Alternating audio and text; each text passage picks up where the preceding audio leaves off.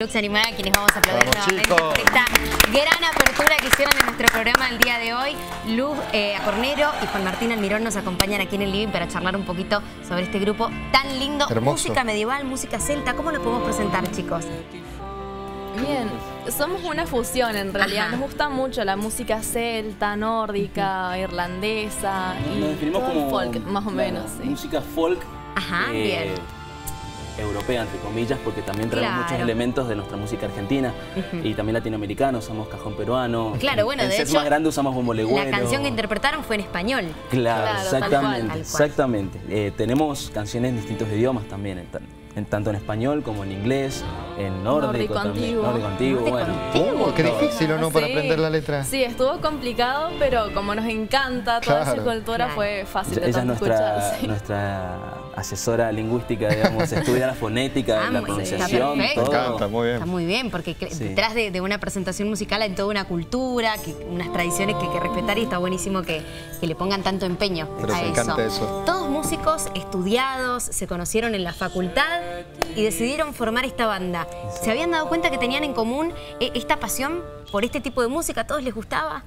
Fue raro, o sea, porque al principio, eh, cuando empezamos a juntarnos a tocar, tocábamos canciones más eh, Sí, poperas, claro, así, lo, Claro. lo típico claro. cuando te empezás, Sí, decís, sí. bueno, armamos un grupo, Sí. tocar en casamientos, qué sé yo. Claro. Y después resulta, eh, en, en esas juntadas, en el ingreso a la facu, cuando Nos juntábamos a estudiar solfeo. las cosas así, ella dice, a mí me gusta mucho la música celta.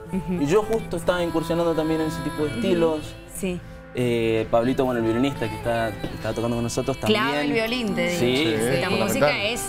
Resulta que también estaba eh, componiendo canciones de ese estilo y cuando nos mostramos la música que escuchábamos todos dijimos, che, pará, algo pasa acá. Algo hay que hacer. Algo Hay hay que hacer. acá. Mira. Algo hay que hacer, algo veamos, encima porque es un estilo que por lo menos en Mendoza no Es novedoso. yo Exactamente. no conozco otro grupo No, que haga música similar a la de ellos. Entonces a mí me parece realmente muy novedoso. Y queremos eh, traer luz, que hay una muy linda movida acá medieval. ¿Ah, en serio? Sí. Ah, mira. Pero justamente eh, no, no había una forma de gestionar esta visibilidad, porque hay, hay grupos, por ejemplo, de torneos de lucha medieval. Acá No hay me un digas, grupo- acá en Mendoza. Acá en eh, Mendoza. los tenemos que Sí. invitar. Los, Después pero nos les pasamos el contacto. no saben lo que es eso. Si nosotros nos venimos fichados, Claro. ellos tienen sus armaduras, No te puedo tienen creer. sus espadas, Qué tienen sus escudos con Qué los banners. Claro. hacen torneos con también otra organización de lucha medieval en San Juan. Hay toda una movida hermosa y que nosotros, en cierta forma, decimos ponernos al hombro y decir, bueno, a ver, agarremos todo y mostrémoslo, mostremos todo esto lindo que está sucediendo. Qué bueno, bueno, me- mencionaban el tema de los vestuarios, es muy bonito cómo se preparan para sus presentaciones. Ese vestido, Lu, te digo, te, te lo confeccionaste vos misma. Claro, ¿Cómo? en realidad nosotros decidimos hacer un videoclip hace unos dos o tres años. Ajá. Entonces empezamos a buscar todas vestimentas medievales en Pinterest. Y así, Claro. y bueno, fui como buscando distintas partes de distintos vestidos y se los llevé a una modista.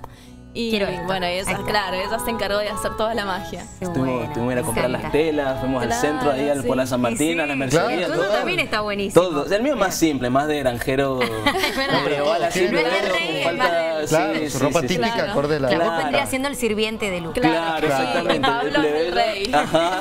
Ellos son, los son los, los, los nobles en Los la banda, nobles. Me gustaría que sí. presenten al resto de los integrantes, porque ahora hemos charlado con los chicos, pero también mucho, mucho talento el resto de la Sí. formación, así que todo suyo para presentar a sus compañeros. Bueno, tenemos acá en ese hermoso vestido rojo y el bajo súper metalero, nuestra colorada preferida, Clarita. Eh. Clarita. Mi. Sí. Bienvenida.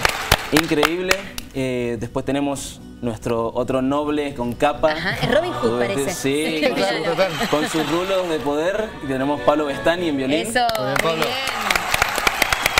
Después en la percusión, con esas, esas manos poderosas con el cajón peruano, tenemos a Pedro Holguín. Eso. percusión. Pedro. Bienvenido, Pedro. Y después tenemos acá eh, que se nos unió para esta fecha, para tocar en el whistle, un instrumento de viento Whistle. irlandés, Alejandro Marangoni, que Bienvenido, Alejandro.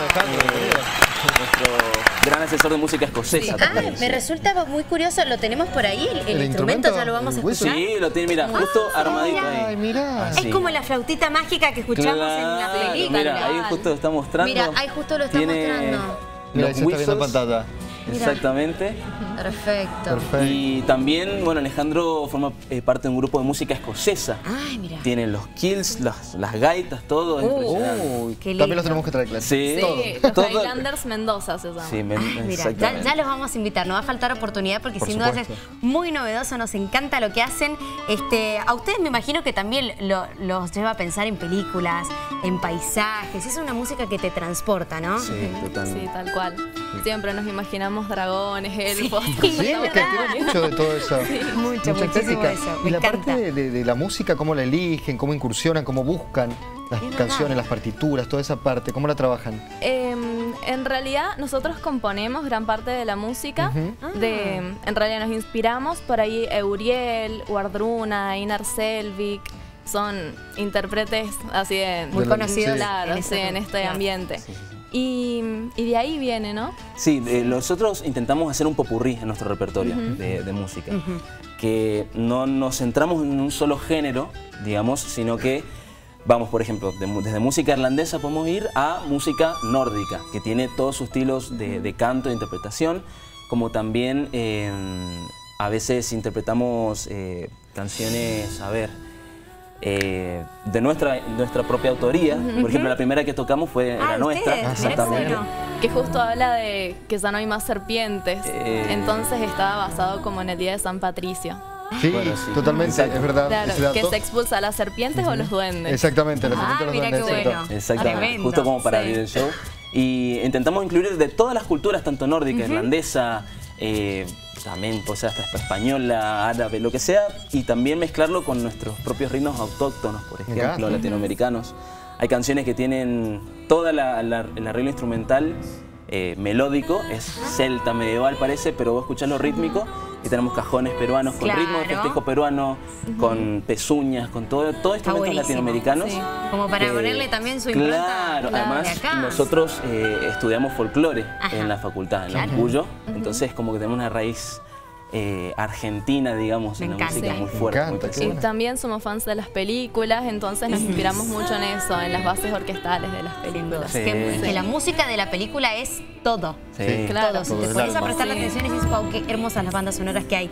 ¿De dónde viene Lux Animae? ¿Qué, qué origen tiene el nombre que han elegido para el grupo?